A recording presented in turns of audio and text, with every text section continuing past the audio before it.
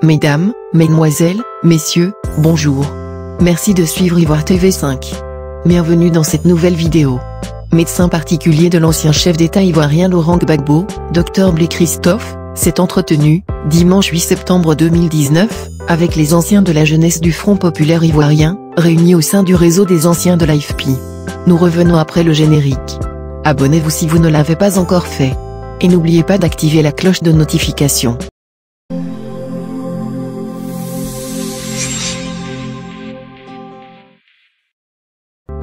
Ce que dit Dr Blé Christophe sur le rapprochement Bédié-Gbagbo, ses révélations sur la rencontre entre les deux hommes.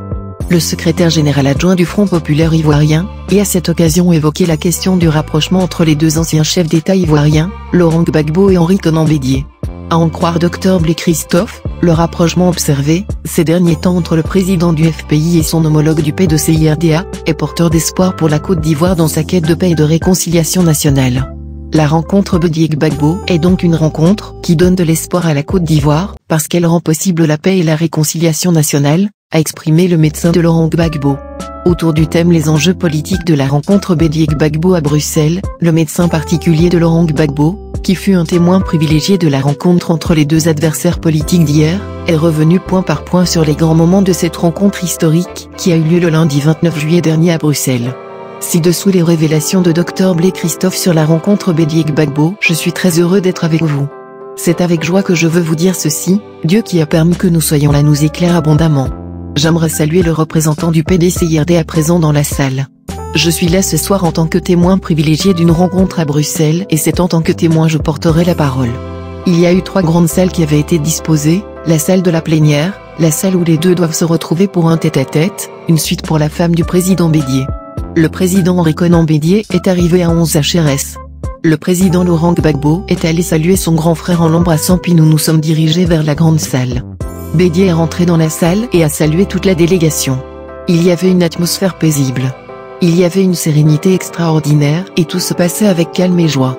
C'était extraordinaire. Dans la pure tradition africaine, il fallait procéder à la demande des nouvelles. Le président Laurent Gbagbo avait prévu deux bouteilles de liqueur pour laver les pieds de ses hôtes et a ensuite demandé les nouvelles au président Belier. C'est son directeur de cabinet, Ndri Narcisse, qui a donné les nouvelles en ces termes, le président Bedier se réjouissait de l'acquittement de son jeune frère Laurent Gbagbo et lui souhaite un retour rapide en Côte d'Ivoire, pour participer au processus de réconciliation nationale. Sa volonté de voir le président Laurent Gbagbo au pays est si vive. Après les présidents Gbagbo Bédier se sont retirés et enfermés dans la salle prévue pour le tête-à-tête. Ils y sont restés pendant près d'une heure. Autour de cette salle, il avait une paix qui régnait et une onction était sur la salle. Quand ils ont fini le tête-à-tête, ils sont venus dans la salle de la plénière. Le communiqué qui a suivi est une parole de fraternité, de compassion, et d'engagement à une paix véritable. Puis les deux anciens chefs d'État se sont retirés avec leurs épouses pour aller déjeuner. Nous autres aussi, sommes retirés aussi pour déjeuner. Après le déjeuner, le président Bedier a pris la route pour Paris. J'étais dans la voiture de retour avec le président Laurent Gbagbo quand le téléphone sonna et au bout du fils, le président Bedier qui a informé qu'ils étaient bien arrivés.